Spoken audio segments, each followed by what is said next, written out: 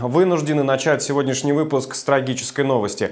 В завершении этого рабочего дня на проспекте Вахитова в районе Кольца первой автодороги произошла авария с участием молодого мотоциклиста. С места происшествия его отправили в БСМП, но спасти парня врачам не удалось. От полученных травм он скончался. О подробностях случившегося расскажем в нашем завтрашнем выпуске в 19.00.